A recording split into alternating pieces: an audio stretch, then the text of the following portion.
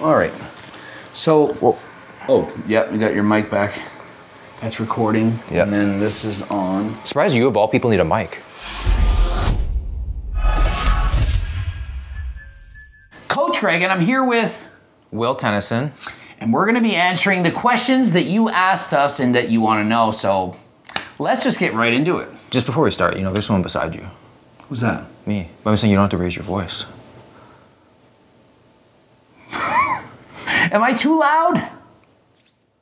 All right, we'll try to calm it down and we'll answer quietly and see what's going on. I have a hearing aid in now so I can hear what's going on. Maybe that's why. on my bad side, so maybe I can hear myself talk and I won't need to yell so much. There you go. Nutty Foodie Fitness, we both know her. Mm-hmm. First impressions of each other when meeting in person. Yeah, I would say you're more, way more jacked in person. Way like way more like stocky and like built than I thought. So, like I'd say that, and I'd say you you're also more soft spoken. Although I just did say that you're louder. I'd say he actually does speak at a normal volume sometimes. Sometimes, Sometimes, occasionally, yeah. depends. But yeah, I definitely say you're bigger, and like speaks at a, a human level. So I'm sometimes. quieter and, and bigger than expected. Yeah.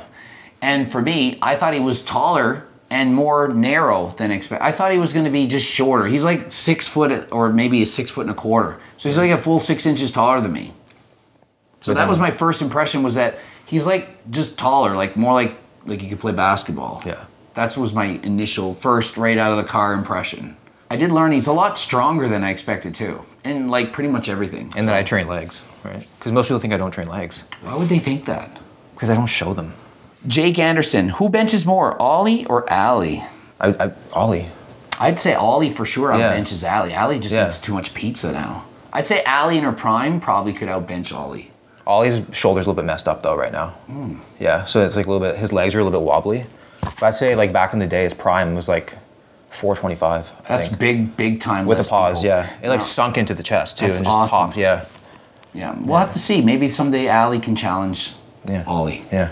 Caitlin Rab asks for Will, how much has Greg's YouTube channel changed your training and diet compared to before you started watching him? Hmm, okay. Well, I'd say, I'd definitely say the training has changed. I'd say More so than the diet. more I, the diet was the diet hasn't really changed that much i'd say because i've always been eating like the high volume like fruits and vegetables making like creative stuff in the kitchen but i'd say definitely like the being in the gym higher reps i used to always train like three to five went as high as maybe eight but then now i'm like going like the 15s really like pushing like the muscular endurance Okay, As awesome. more i would never do that before Okay, I would have Yeah. I would have like thought it was the diet, but literally it's the training. He's stronger than me in some of these lifts, so it's clearly working. yeah so definitely just lifting in all all the spectrums like you do like the five reps and then you also do like the 15s to 20s Yeah. and train like all elements Awesome. yeah I just VDAC.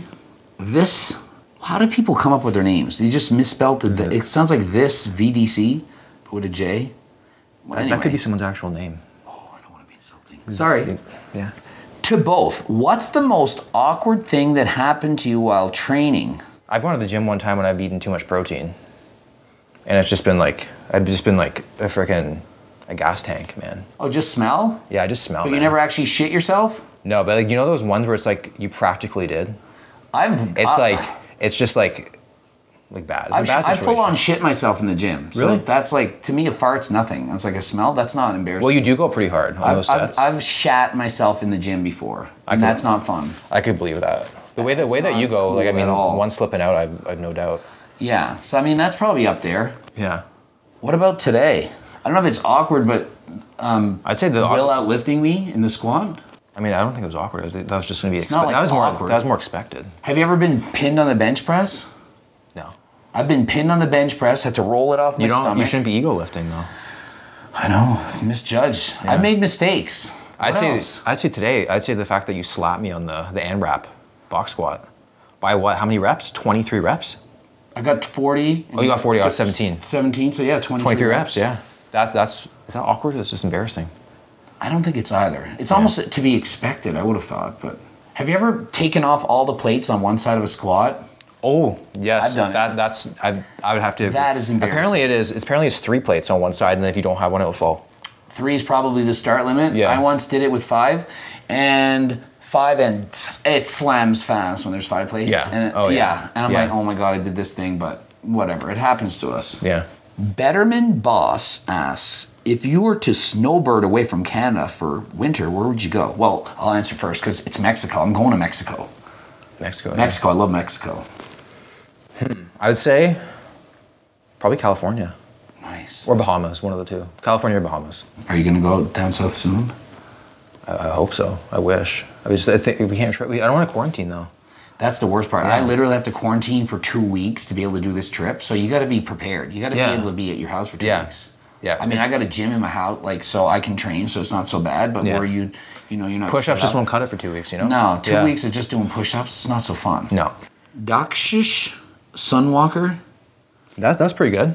to the coach. What's it like being reunited with your son?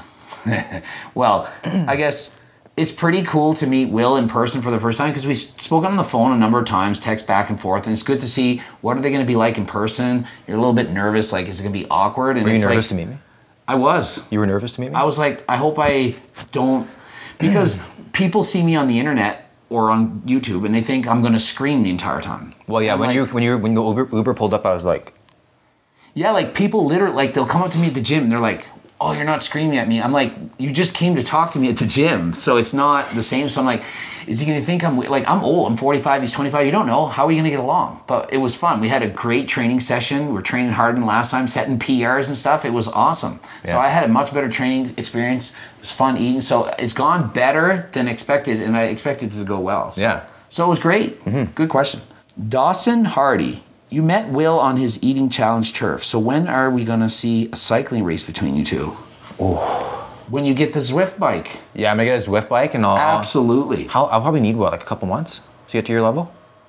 I'm level C. You'll probably start at D. So yeah, you probably would be at level C pretty quick.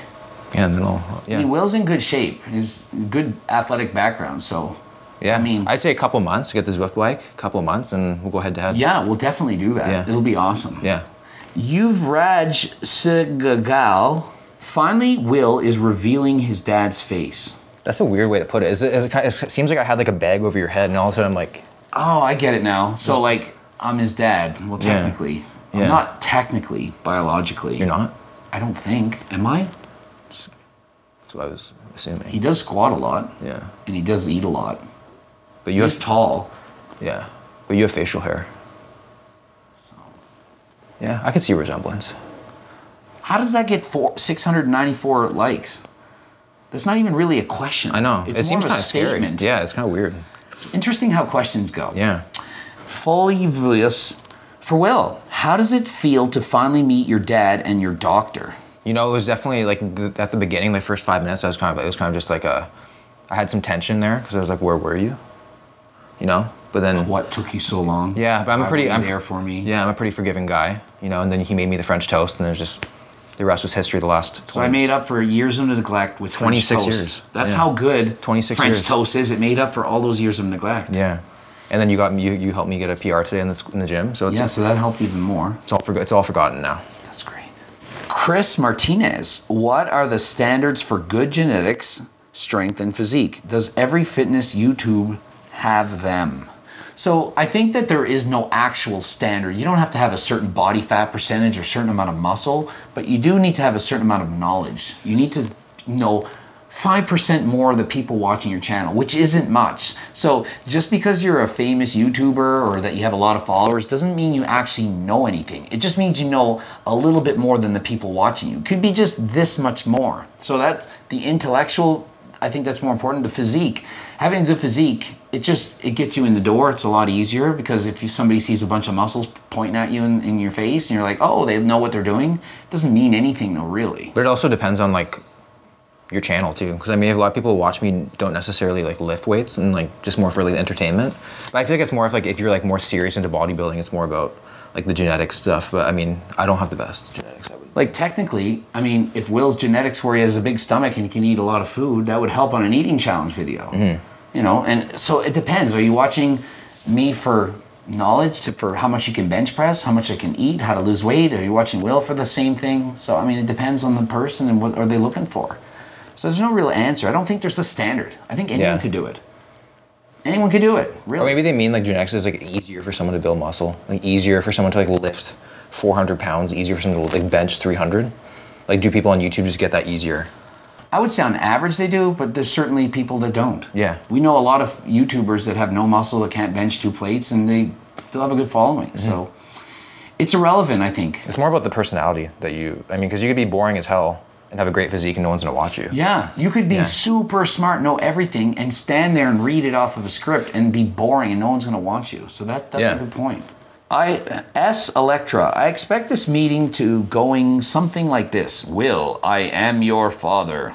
Didn't really go like that. It didn't. It didn't. It was more like storytelling and talking about YouTube and like what's going on and what are our goals and what's it been like and what Yeah. are the struggles and what is the positive. Like, fu- yeah, future goals, plans. Yeah. Because obviously we have a lot in common. We make YouTube videos, and Yeah. we went from having no followers to a lot of followers. So you can kind of relate. It's very interesting to see a different perspective because Mm-hmm. I don't often get a chance to talk to other people and see what are the pros and cons. And Yeah.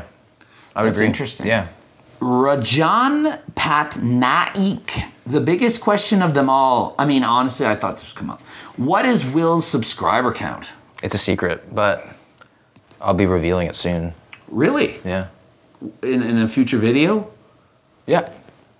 It'll be revealed How soon? In the next month? This year? Well, it's all up to people watching. How soon? So hopefully soon.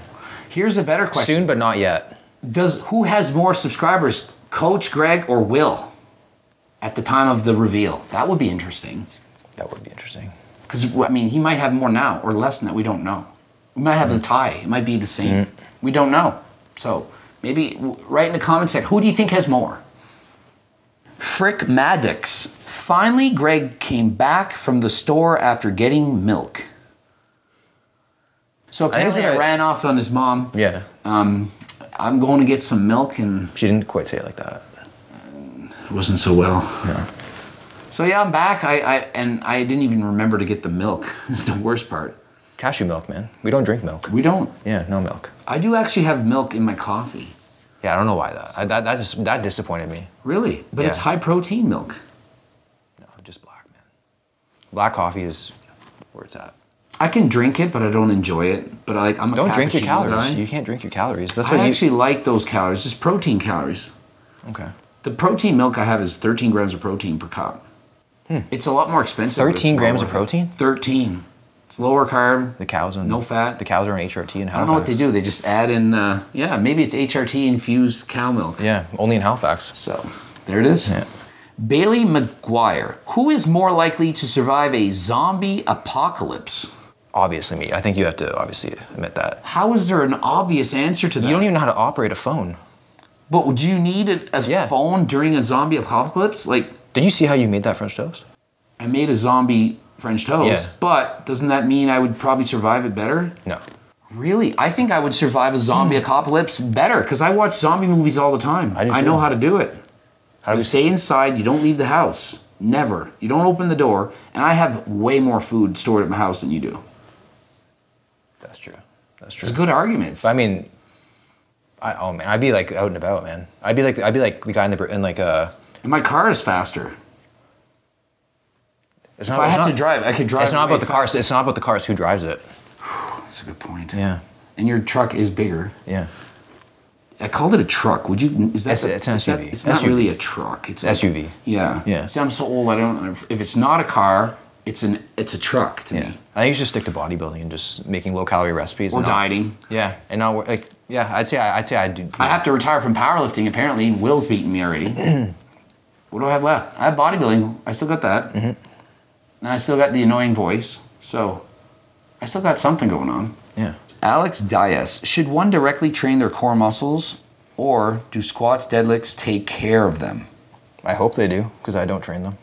I also don't train my core. Mm-hmm. Will doesn't train your core. I mean, obviously you can, but you don't need to. And yes, those exercises absolutely train your core. Think of it if your core is injured and you try to squat, you can't squat. I'd say the only benefit to training core is that you'd see them probably at a higher body fat, right? Because they're more developed. If you have thicker muscles, then you'd see them through the fat layer more. Mm-hmm. However, you'd also have a thicker waist, which would make you look like less aesthetic. Yeah. So there's pros and cons to doing it. Yeah. But I don't do it. I don't want to do it. I wouldn't waste my time in the gym doing it. I'd do it at home if you wanted. Yeah, it's Yeah. like something to throw in on the side, and if you really want to. But generally, the people that want abs, you need to to eat less or do more cardio. Doing a bunch of sit-ups is not going to get you the core that you Mm-hmm. Yeah. want. Next time on Coach Greg. Like I'm with Will. Like, what are we doing? We're doing a Q&A. Or do you? Whenever you make those videos, I'm like, is, is your, your vein gonna pop in your neck? It's friggin' 2020. Yeah. I can be a girl if I want. I'm a donut. Perfect. I'm a friggin' circle.